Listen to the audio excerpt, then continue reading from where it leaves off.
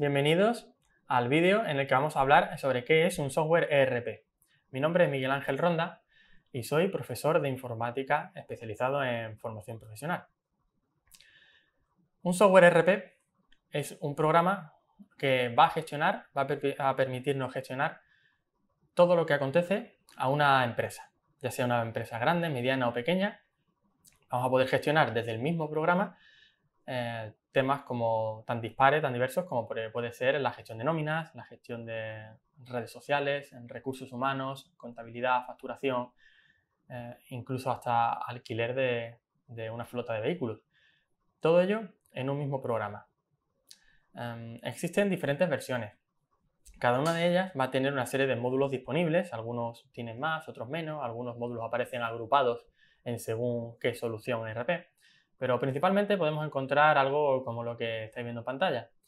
Eh, diferentes módulos que al final muchos de ellos incluso se van a ver asociados a departamentos. No siempre es así, pero en ocasiones eh, suele darse en bastante medida.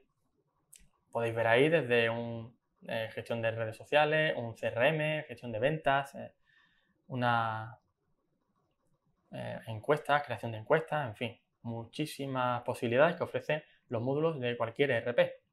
Pero claro, existen diferentes opciones, no hay una sola.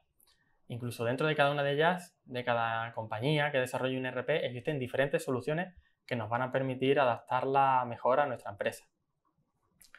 Principalmente, pues siempre podemos destacar a SAP como una de las más importantes, una de las más importantes, eh, Microsoft Dynamics o Oracle, eh, que son quizá las tres principales, los tres principales actores en el, mercado de los ERPs a nivel mundial. Y luego, bueno, en España también tenemos muy implantados AGE y Odoo, que es del que ocupa, pues que eh, tiene una ascendencia clara en torno a los ERPs de, de diferentes tamaños de empresas.